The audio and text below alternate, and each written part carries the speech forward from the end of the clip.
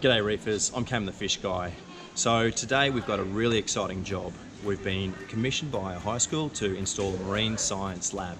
Now, a marine science lab in this case involves a number of tanks. We've got a couple of uh, frag tanks, a tank and a sump, and we've also got a big display tank. Now, it's a beautiful tank with a nice cabinet and a helmet. We're going to put uh, Hydra lights on it. But today, the job is to get the tank upstairs. Look at where it has to go.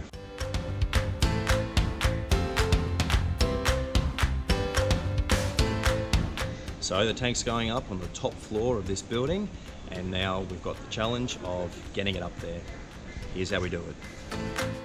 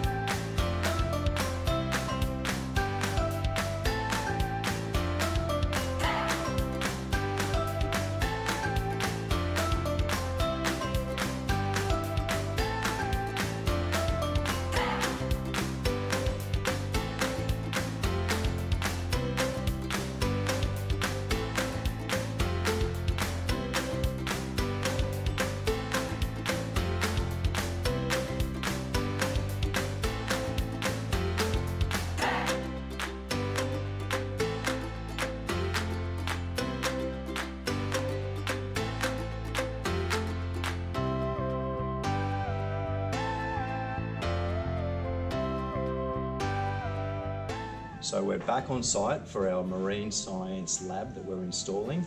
And so as you can see, we've got the tank in place. Um, we've got uh, all the equipment that we're going to be installing um, sort of scattered around. We've got our plumbing, uh, all the tools required, drills, pipe cutters. And so today's job is going to be to do the plumbing, to uh, install all the componentry, and the hardest part, bringing the water up and filling this tank. So I'm making the return line for our eight foot tank. We've got the bulkhead at the bottom. I'm gonna put a union in place so we can remove this if we choose. And I'm probably gonna go a right angle to a 45 degree and probably another 45 degree back into the tank.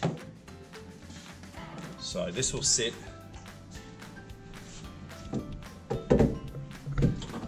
in the overflow. And so I'll reduce the length of this so that it's a little bit more low profile. And I'll probably reduce this as well, just so that we've got our outlet coming in at the water surface to also make it a little bit smaller and more discreet.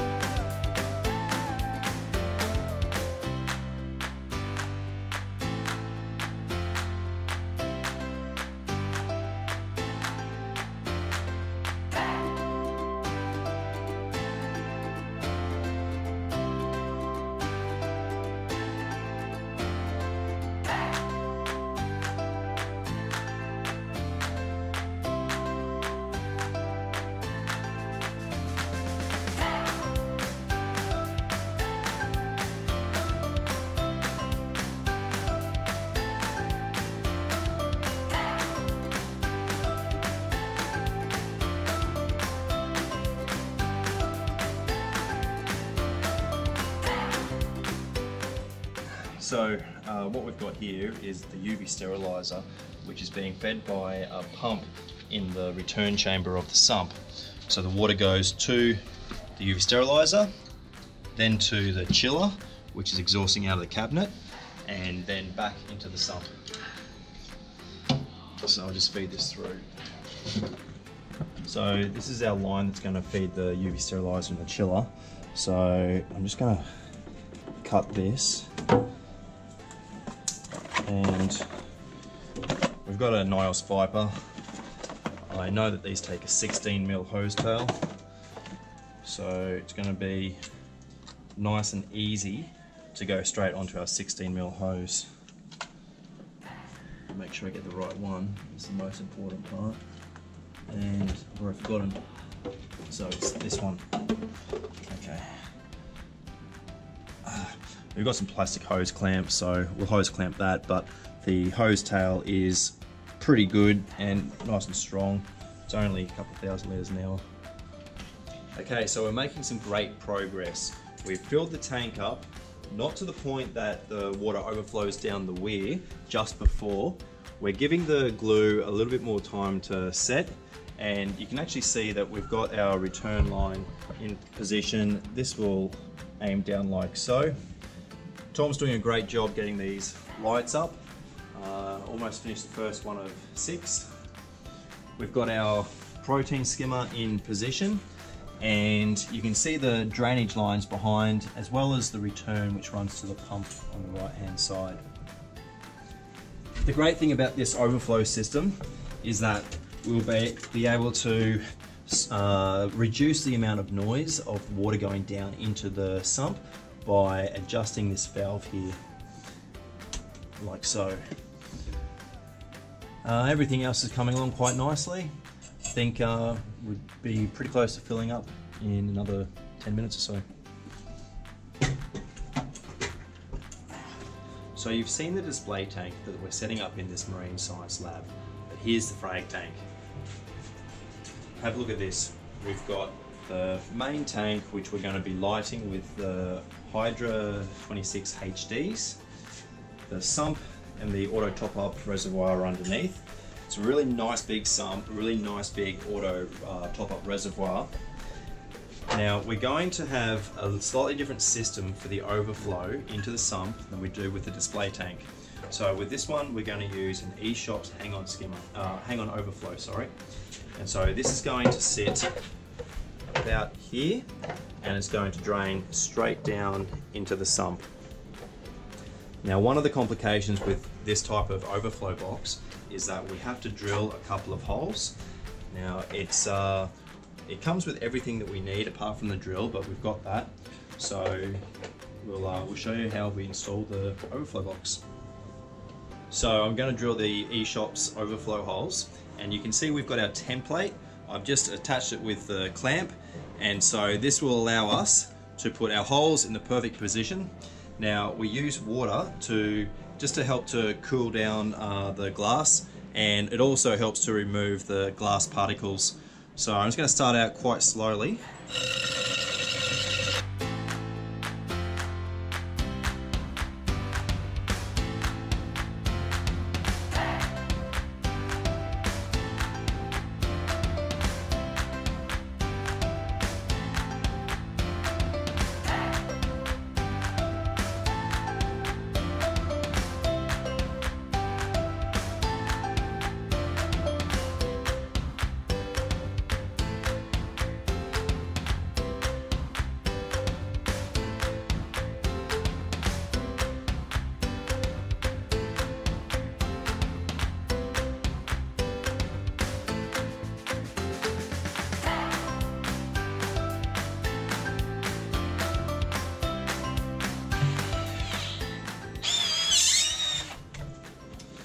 Okay, so we've got our overflow box in position and we have to plumb this like it were any other overflow. And so we've got three drains here. We're going to have a main drain which will have a ball valve on it, which will be this one. That will sit in line like so. And now, because we've got the protein skimmer in this same section, I need to ensure that we have enough space for it to all fit in. So I'm using angles so that it'll all go over towards the back of this section. So we've almost finished our marine science lab installation. And so check it out, this is what we've done. We've got an 8 foot by 2 foot by 500 high, which is designed to be the perfect height for the children as they're watching uh, from their seats. We haven't uh, in, uh, plugged in everything just yet, so the chiller isn't running at the moment. We've still got a mess of cables. We're going to put a board up the back there. Um, the UV sterilizer isn't turned on, but you can see what we're going to do. The automatic top up will fill next time. Um, on the other side, we've got the skimmer working. We've uh, propped it up and I've got it uh, turned right down.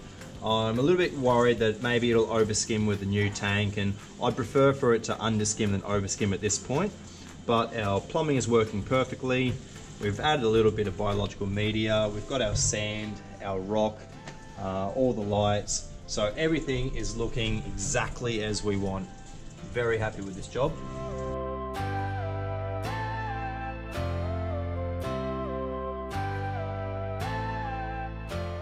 And so as you can see, the, the finished product is looking really good. It's all ready to go. I think the kids are gonna really get a kick out of having such a beautiful tank right in the middle of their classroom. Um, let's just check out the, the frag tank. Um, we're about to hit go on the return pump. Very happy with the way this has turned out. Our hang-on overflow is perfect. It matches the space. The plumbing on the overflow has worked really, really well. Uh, again, our great white skimmer, haven't plugged it in yet, but it's looking good. And um, we're just gonna fill up a little bit more water and plug it in. So we'll be posting lots of updates on the Marine Science Lab as we fill it with fish and corals. So it'll be really exciting to, to see what we do with it in the future. So stay tuned for updates on Gallery Aquatica TV and thank you so much for watching. So that's our video for today.